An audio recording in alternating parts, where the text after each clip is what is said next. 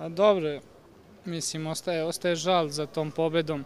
Imali smo pobedu, dva gola razlike, ali mnogo je teško odbraniti se s igračem manje, pogotovo pred punom Marakanom i, i pre, pred Zvezdom koja igra dobro. Tako da, eto, ostaje taj žal što nismo pobedili.